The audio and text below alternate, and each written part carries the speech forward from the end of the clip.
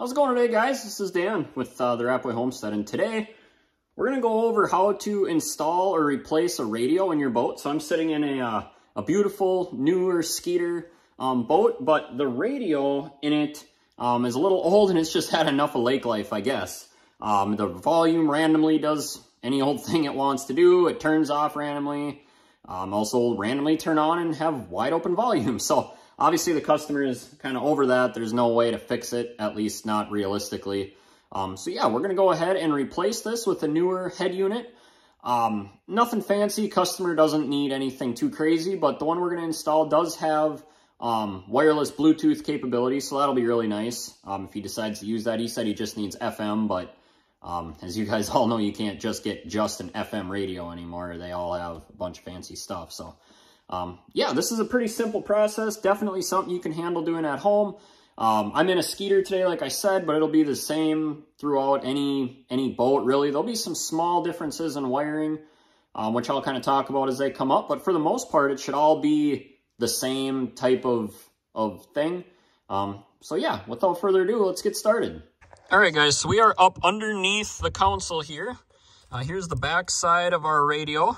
I apologize, it's a little hard to film under here. There's not a lot of room. But the first thing I like to do is go ahead and disconnect all of our, our wiring from it. So as you can see here, we've got the main plug that'll come into the back of the radio. So this is the main plug. It runs up to the wiring of the whole boat. Now we'll worry about wiring the new radio later, but we're just gonna go ahead and unplug this. Um, we've got our antenna. So this is what'll run up to the antenna outside of the boat. We'll unplug that. Very simply, that just pulls apart like that. Um, here's some things that weren't used. Looks like maybe we got a zip tie we'll have to cut. And then there is a, a strap or a support that goes to the back of the radio here that comes up to the, the actual main part of the boat to help support this radio so it's not bouncing all over the place. So let's go ahead and we'll get all that stuff disconnected and I'll show you what it looks like when that's done. All right, so I got it all disconnected. Unfortunately, I had to put the camera down to do it. Um, you can see everything has been disconnected. We've got that wire strap taken off the back here where it was on this stud. And here's our, our wire harness. So you can see this is where the radio harness ties into the wiring, but we'll go ahead and take care of that in just a minute. So now we're ready to actually pull the old radio out and get the new radio slid in. All right, now this part of the process is very simple, and what we're gonna do is go ahead and remove this entire outside housing here. Um, this is kind of a waterproof deal, or water resistant, I should say. It's got a little door that shuts to keep the elements off. Um, so yeah, we're gonna go ahead, and the first thing we have to do is pop these two black caps off. So we're gonna go ahead and try to be very careful. The tabs are on the ends, and we don't wanna break this because we do intend to reuse it. So we just have to be real careful. These should come off fairly easy, but you know, things get brittle, so just go real slow and kind of work them off like that. There we go. There's one. You can see them tabs better now. There's just a tab on each side. And they pop out. And we'll go ahead and do the same on the other side.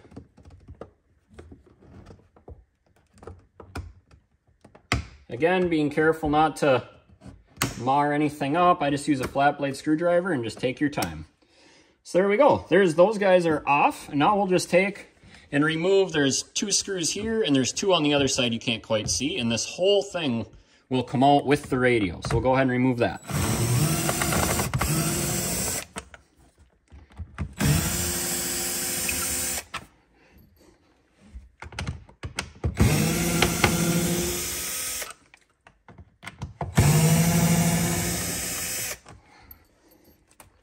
Okay, now with a little bit of wiggling, this radio should just come right out. There we go.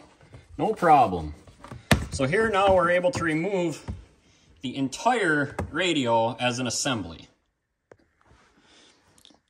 All right, now the radio we're going to be installing, again, this is not a super high-end radio, but this will be great for this customer. So this is just a Boss um, audio system, but it is the Marine rated. Now the big thing with that is this radio is designed to handle a little bit more um, bouncing and jarring around like you get in a boat when you're going across waves. It's also has more of a water resistant screen to it, or uh, faceplate, I should say, than you would find in a normal automotive radio. You can install an automotive radio, but they they just don't do well with moisture. So we'll go ahead and get this guy unboxed and start swapping it out.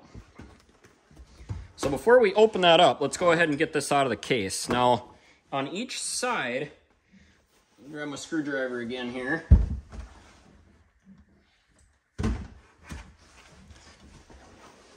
All right, so you'll see on each side, there's these small locking tabs right here, and they just kind of pry out in a way.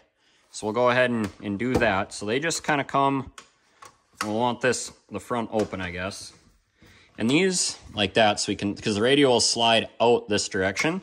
So you just kind of want to pry back on that. And we won't be reusing this, but you still, you know, don't want to wreck things. So we'll slide that out a little bit like that. I find if you kind of set the back of the radio down, you want to kind of apply a little bit of pressure as you do it so it slides out. And you'll see the whole thing come out just like this. And we will go ahead and pull that radio out.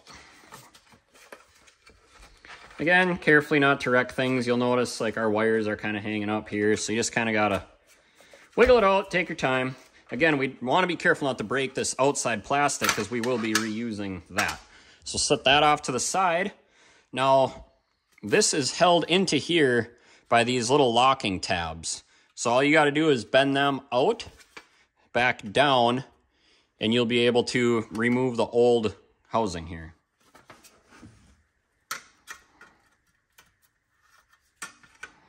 They're not too tough to bend. Once you get them started, you can just do it with your finger.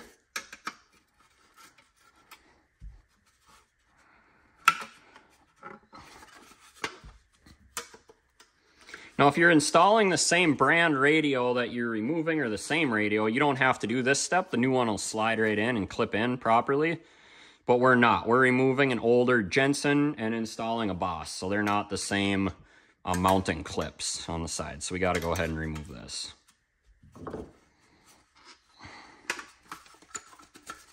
And then it just kind of wiggles out once you get those tabs bent back down.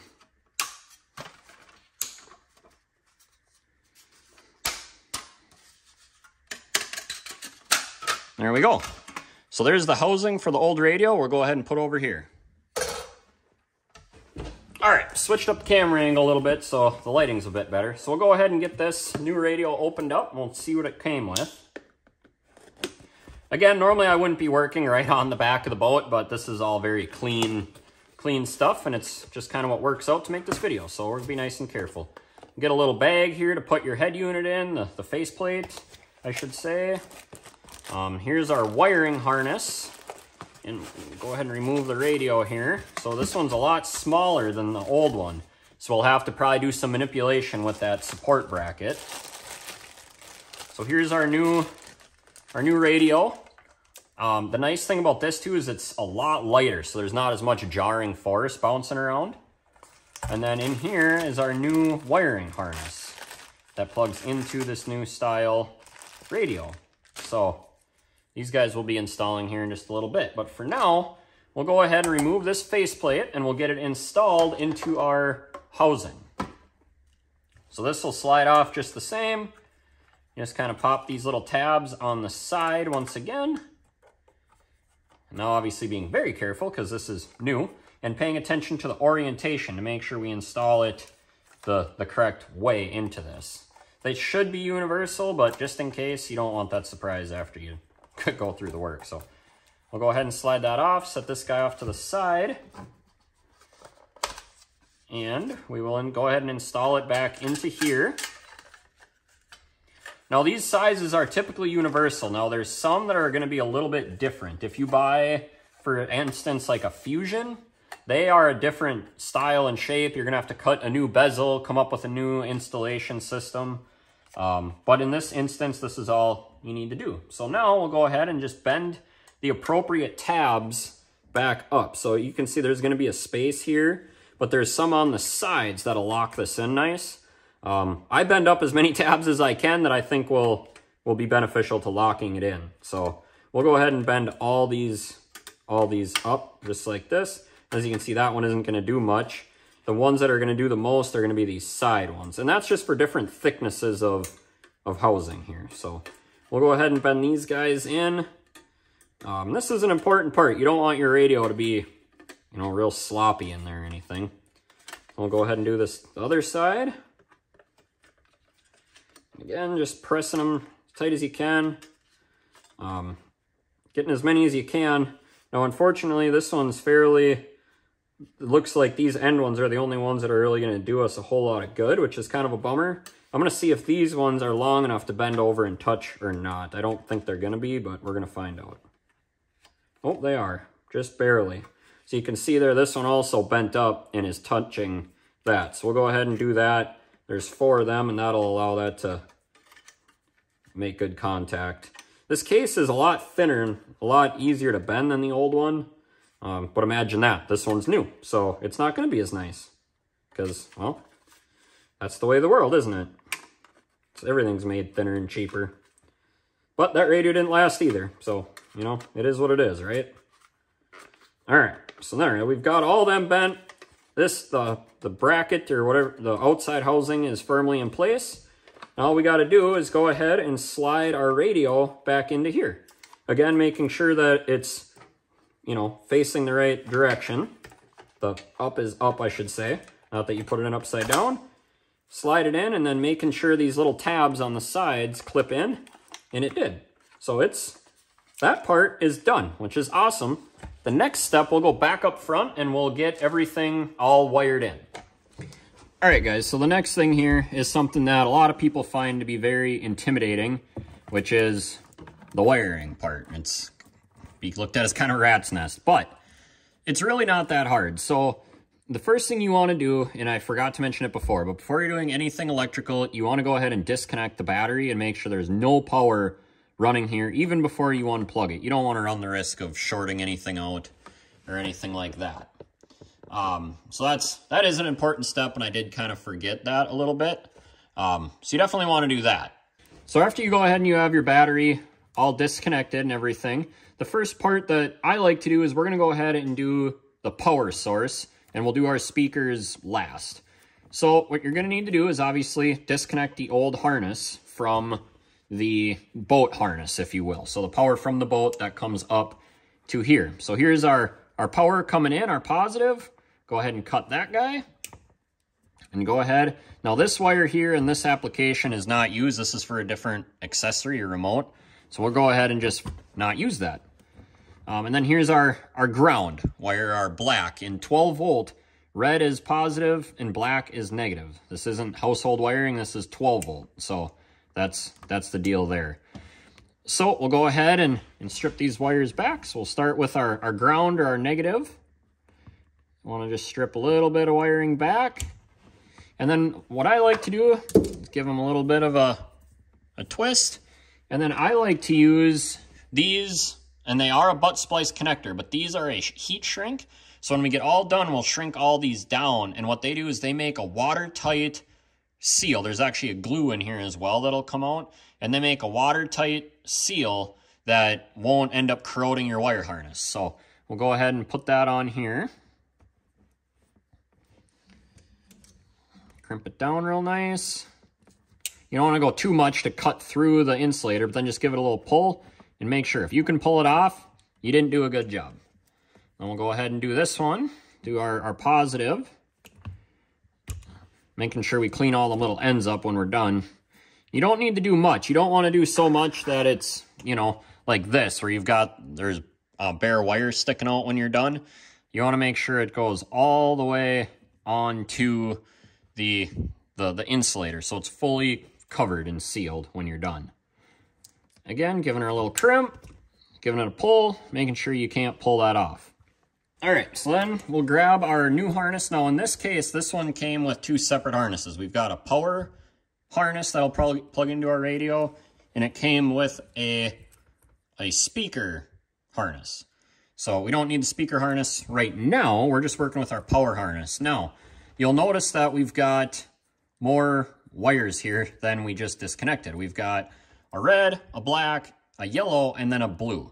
So blue is for a remote of some kind. So you can either run this to a um, power antenna, or if you were running a um, an amplifier in this boat, you would run this remote wire over to the amp, and this is what would tell your amplifier to turn on that your radio is on, but we don't have any of that in this boat. And then you've got these three. So these three are the ones we're going to be worrying about today. So our black is still going to be our ground. So we'll go ahead and hook that back up to black. But we've got a red and a yellow. Now, these two wires we're actually going to go ahead and hook together. Now, the reason for this is, is one of these wires is needs constant power, and the other wire is for to, to tell the radio when to turn on. So basically the small red one is the one that'll keep the memory of your radio. It'll allow it to maintain radio stations, maintain your clock, and all that. And your yellow is the one that actually supplies the power to the radio that powers everything up when you say you turn your key on on the boat or you turn your power switch on. Now the problem with wiring it up separately in a boat is that you will constantly have an amp draw on your battery because it's always using power to keep that memory.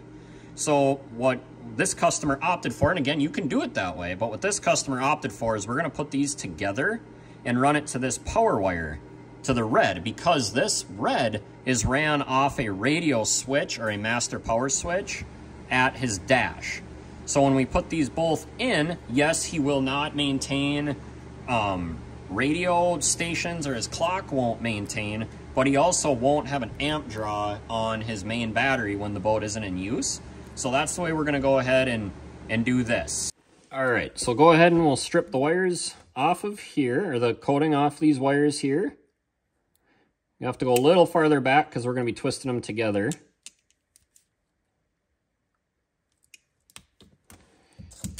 And then I like to kind of inlay them into each other. So that way when you twist them, they twist all together.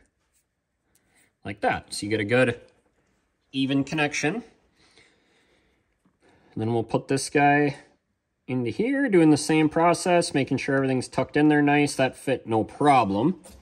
So crimp it down. Again, installing it into our red wire that is fused.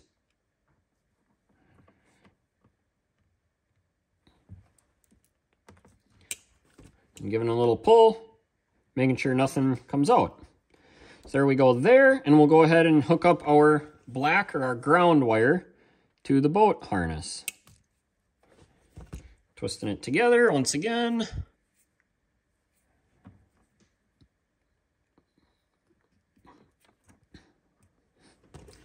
Crimping it down.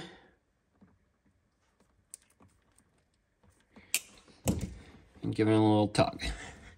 Now that them two are done, we'll go ahead and shrink them down. I just use this little torch here, kind of on low heat. You want to be careful not to burn your wire. It's really easy to do, but you just want to go real light and easy and they'll, they'll shrink down real nice. This is why you want to use the smallest um, butt connector or shrink down connector possible because it'll shrink down the best and make a nice tight seal on your wire. Excuse me. Now, a lot of guys will say to use solder. You got to use solder. Well, a solder is, for one thing, you still need to run a heat shrink over it. Uh, electrical tape is not as waterproof as a good heat shrink like this. And two, now you're running a hot soldering gun in your boat. It takes a lot longer. You're trying to hold wires together. You're risking dripping solder on everything. It's just not, not a professional way to do it. It's not the way a professional mechanic is going to is going to do it. Also with solder, if you overheat the wire, you actually can put resistance into that wire. You damage the wire. So it's it's not as, it's not preferred. It's not my preferred way of doing it. Guys can argue back and forth all day long. But I've installed hundreds and hundreds of electronics, and this is the way I like to do it.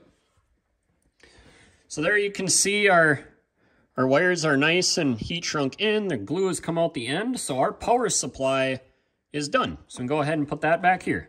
That part is done. Now the next part is going to be our speaker wires. And this is the part that you definitely want to take some time in doing. So let me kind of zoom in here a little bit.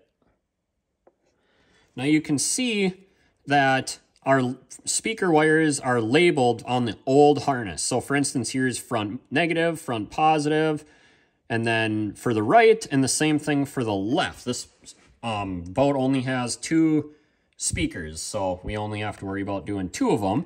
But we want to make sure we get that correct when we install the new one. Now, sometimes, and in more expensive ones, I guess, these wires will come labeled. Now, obviously, your purples go with the purples, grays go with the grays, and so on and so forth. But we don't know what goes where or where goes what. So we're going to have to grab the manual and look and see what wires, colors we want to connect into our speaker wires. So let me grab the manual and we'll get back with you. All right, so kind of giving you a look, the ones that we're going to want to worry about is our front. So they're on top. And it looks like white is positive for front left and white black is negative for front left. So we're gonna go ahead and, and hook them up first. All right, so I don't have the best memory, so I've got it sitting on the floor right below here. So we're gonna go with our front left speaker. That's the one we were just talking about. And just so happenstance, it is the same wire colors here. So just re-verifying our white, our white solid is our positive. So that is the same here. So we're going to go ahead and just do one at a time to make sure we don't get confused. If you do get confused or it's not labeled, you can go back to the speaker with an ohm meter and figure out which is negative and which is positive, but this just makes life way easier. So we're going to go ahead and cut this one first, and we will put our white positive wire right here.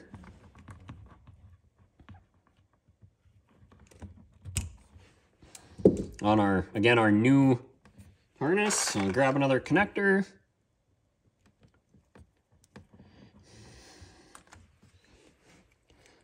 Grab our, our harness, our new wire harness for our radio. We'll just go ahead and strip all these off. We know we're to need this one, this one, and then I think, yeah, our grays are going to be our other speaker we're going to want, or our other output, I should say. So we'll just go ahead and separate our grays out from the rest. Let's kind of get them out of the way. And we'll strip our grays quick.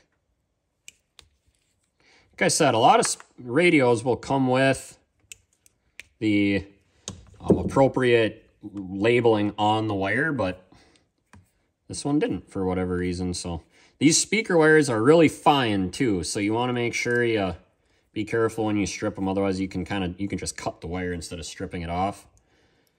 Um, so go ahead and twist these on here. All right, so we want to find our white, just pure white. So you can see this is our white with a black tracer, they call it, and this is our pure white. So this is the one we're going to go ahead and install into here. No, I did not crimp that, did I? That's not going to stay on very good when you don't crimp it.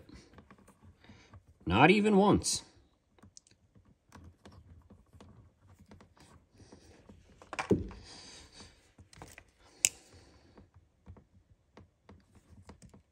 There we go. Pull. All right, now we'll grab our white wire and install that. I might have stripped these off a little too long, but they'll be all right. There's plenty of room in here. These speaker wires are so fine. Like I said, they, it's amazing they can even get away with it. But this is only a 200 watt max output radio. So again, we're not trying to, uh, you know, be a total rock concert out there. So we'll go and cut this one. We know this is our negative. So our white with the black tracer will go into here.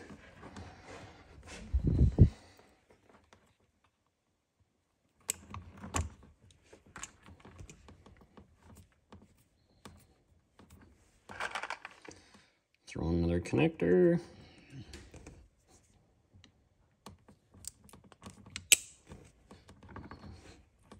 And then grabbing our white with black. That guy will go into there. Now, when you do kind of pull on these to test on these speaker wires, don't you don't need to get crazy. They're, again, very fine wire. You could just break the wire, but that's on there good. Now we'll do our grays. So this says that our gray without the tracer, so just pure gray wire is going to be our positive. And so we're going to grab this guy here. That is our positive. Now, it just so happens these wires are um, are actually matching up with this new wire harness, but that does not happen ever. so very rarely do those speaker wire colors match. So definitely don't just go off of that. Again, you can just cut this off, but then it's just going to take you longer to figure out where all these go. So a little bit of a, a time-saving trick there, I guess you'd say. Sometimes you have to, though, or you're installing a new setup and you don't have a choice. So there's that. Now, last but not least, this is our last wire. And it is our negative, so white with a black, or sorry, gray with black tracer. I'll go ahead and put that on here.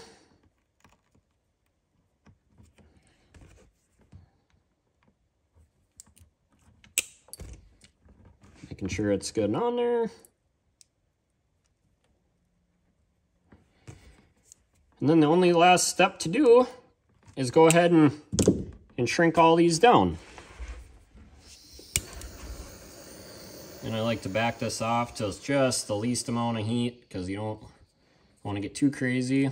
And then obviously watching we don't burn anything else.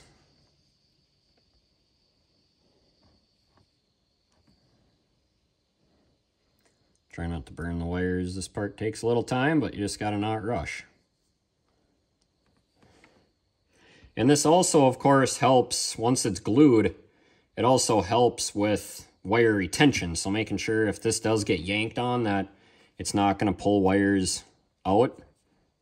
Um, it's not, obviously, its intended purpose, but it does help with that. So it's kind of just a, a bonus, I guess. Got to be real careful of this dash to not get our flame close to that. We don't want to be melting the customer's dash.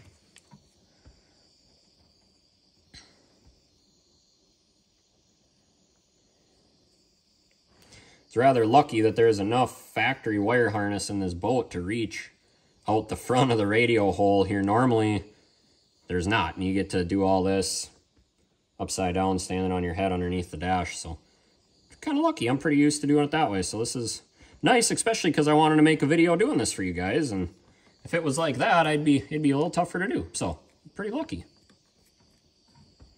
Kind of shrink these at the same time here.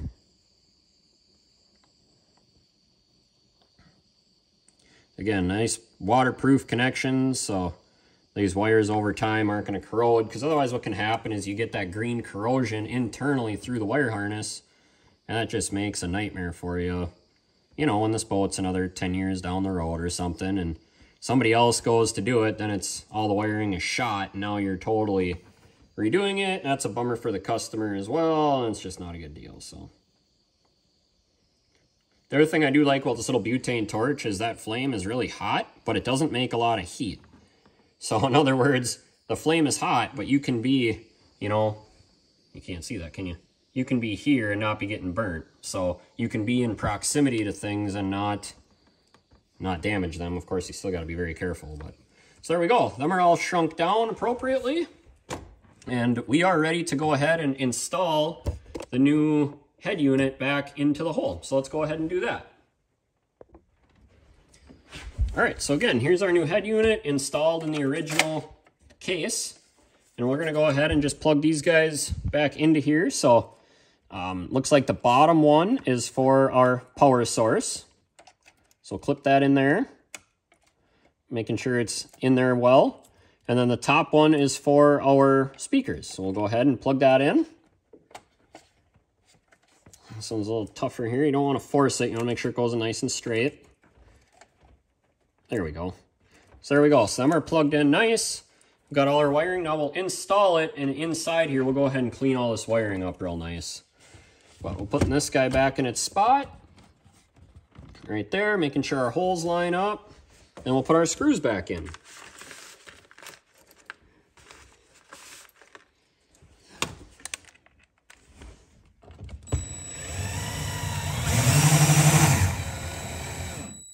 Not getting too crazy. We don't want to crack anything. I like to do one on each side to make sure it's leveled back out.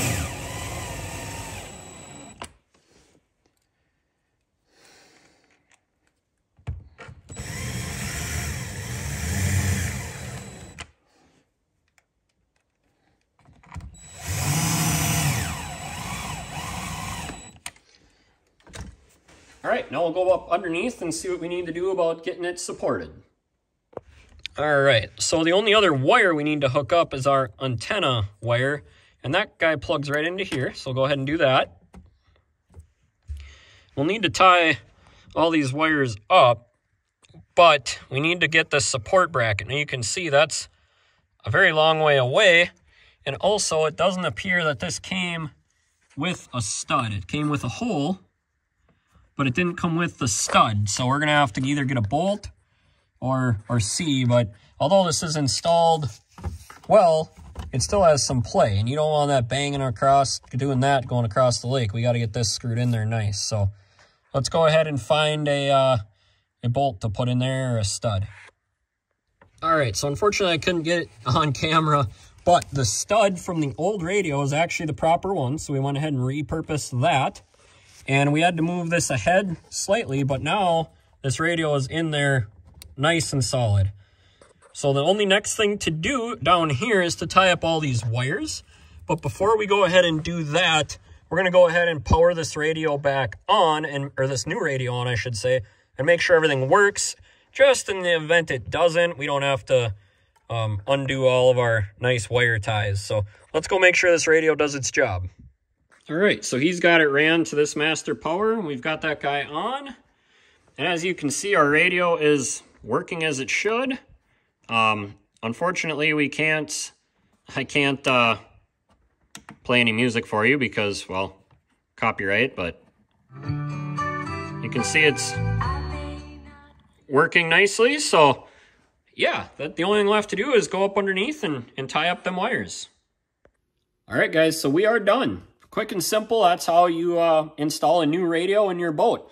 No matter what boat you have or you're looking at, um, this, this, these steps are going to be relatively similar. There might be slight variations, but for the most part, this will get you where you need to go. So, um, and then one of the last how-to videos I did of installing a battery shutoff switch in my fish house, a subscriber asked that I would go over and show the completed job, which I guess is kind of obvious. I just didn't think of it. So thank you to you for him, to him, I should say, for uh, mentioning that. I'll definitely be doing that. So here's the, the faceplate install. So we've got our pieces reinstalled. Everything's nice and, and flushed. Our door opens and closes as it should. Slides back. Of course, now it's going to be difficult because I'm doing it with the wrong hand. There we go. So that slides out of the way. Here's what the radio looks like all installed. I'll go over and clean this up a little bit, but um, that's what that looks like. And we'll uh, We'll flip you around, take you underneath, and show you what the wiring job looks like all said and done. All right, so here's the wiring again. Went through, here's our antenna wire. We got that plugged in. Our support strap is solid. Um, went and tied the wiring up here really nice. Um, tuck that guy up in there. You can still get at the fuse holder, and then I reused the hole that was here for the, originally for the mounting strap and used a zip tie with a hole in it to mount the wiring up real nice. So everything looks real clean and shouldn't get, you know, tangled in feet or anything he might store under here. So there you go, guys. Again, hope you find that helpful. If you do, uh, please hit that subscribe button, like, and drop me a comment on uh, maybe what you've installed the radio on or maybe some crazy things you've seen while installing electronics in a boat. This boat is newer and very nice. Sometimes things are pretty, pretty hacked apart and you kind of got to start over. So, um, but until next time, you guys have a good one.